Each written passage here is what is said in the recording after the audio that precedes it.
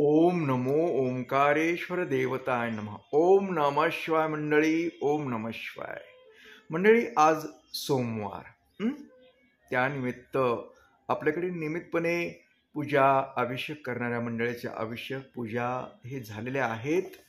आणि त्यांच्यासाठी आणि तुमच्यासाठी प्रार्थना केली. की तुम्ही सुखी समाधानी आनंदी राहू. अशी ओंकारेश्वर चरणी प्रार्थना केली.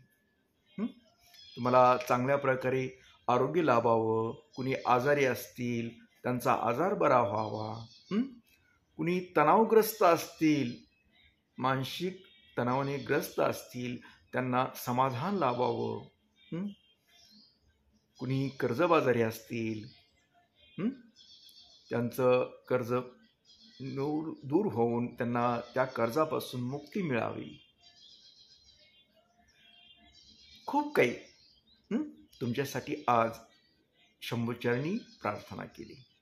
तर मंडळी आता आपण मूळ विषयाला जाऊया की आपण दररोज कुठल्या ना कुठला एक उपाय सांगतो तोडगा सांगतो.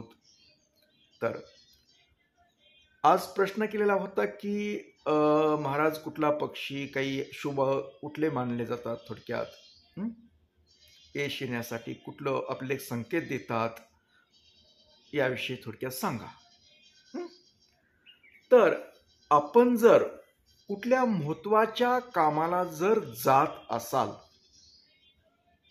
फार महत्त्वाच्या त्यावेळेस आपण चालत असताना गाडीवर असताना गाडीमध्ये जात असताना जर आपल्याला मोर हा पक्षी जर समोरून गेला अथवा दिसला दिसला आणि समोरून गेला बऱ्याच वेळेस पक्षी तो आपल्याकडे पाहतो. जर तसं झालं तर तुम्हाला शंभर टक्के जे तुम्ही कामासाठी ज्या कामासाठी जाताय ते काम तुमचं होणार. तुमच्या मनातली जी इच्छा होती ती पूर्ण होणार. असा हा संकेत असतो. कारण मोर हा शुभ मानला जातो. शुभ मानण्यापेक्षा तर ते वेगळं झालं. पण जर आपल्या महत्त्वाच्या कामाला जात असताना जर समोरून आला दिसला तर ते शंभर टक्के काम होतंच आपलं. पण तशी भावना असली आपली पाहिजे. श्रद्धा असली पाहिजे. तर हे झालं. तर आता मग आपल्याला यश चांगलं घरामध्ये सतत आपल्याला यश येत हो असं सगळं जर वाटत असेल कुठल्याही कामामध्ये तर त्यावेळेस आपल्या घरामध्ये आपण मोर काही सांभाळू शकत नाही. कारण तशी बंदी सरकारची पक्षी आपल्याला पाळता येत नाही. तर आपण कमीत कमी एक गोष्ट करू शकतो छोटीशी की आपल्या घरामध्ये हॉलमध्ये मोराचा फोटो चित्र ही रेखाटू शकतो आपण लावू शकतो कारण आपल्याला सतत जर मोराचं दर्शन झालं तर खूप काही बरं होतं चांगलं होतं. आपल्याला यश येत राहतं. धरलेले कामं पूर्ण होतात. हे मोराचं वैशिष्ट्य आहे. आपल्या घरामध्ये मोर पीस असणं सुद्धा अत्यंत गरजेचं आहे. जर आपल्याला कुठली बाधा झाली बऱ्याच धर्मामध्ये सांगितलेलं आहे. तर कुठली बाधा भूतबाधा वगैरे काही जर झाली असेल तर मोर पीस कमीत कमी एक असलं तरी चालतं पण तीनची सातची अशी जोडी करावी. म्हणजे त्याला काळ्या धाग्यामध्ये गुंपावं. आणि समजा आपल्याला त्रास वाटतो तर त्या व्यक्तीवरून ज्या व्यक्तीला त्रास आहे त्या व्यक्तीवरून डोक्यापासून ते पायापर्यंत तीन तीन वेळेस पाठीमागून समोरून असं उतरावं. आणि ते मोरपीस आपलं देवघर असतं तिथे ठेवायचं.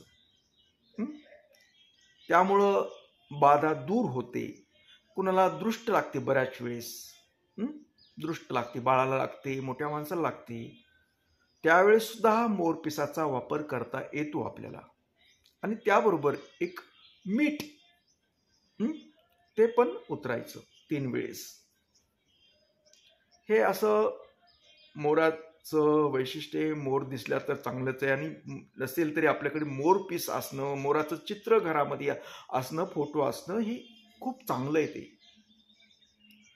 ज्यांना ज्यांना उपलब्ध होतंय त्यांनी तो करावं लावावं घरामध्ये पीस असावं.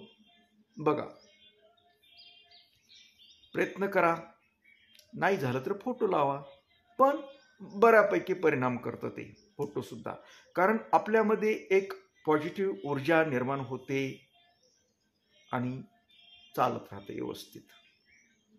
त्यासाठी हा आजचा उपाय तर करून पहा. काय म्हटलं की आपण जर शुभ कार्याला जात असाल मोर जर समोरून गेला अथवा दिसला तर ते कार्य शंभर टक्के पूर्ण होतं. आणि आपल्या घरामध्ये सतत चांगली ऊर्जा राहावी. चांगले विचार व्हावेत घरामध्ये आनंद राहावं आपल्याला कामामध्ये यश यावं यासाठी मोराचे पीस आपल्या घरामध्ये असणं आणि मोराचं चित्र फोटो हे लावणं गरजेचं असतं. तर असो आता आपला निरोप घेतो आणि परत भेटतो अशाच एखाद्या उपायासह तोडग्यासह उद्या सकाळी याच वेळी आणि याच ठिकाणी. तोपर्यंत मंडळी ओम नमः शिवाय. जय हिंद जय भारत. सुखी रहा आणि समाधानी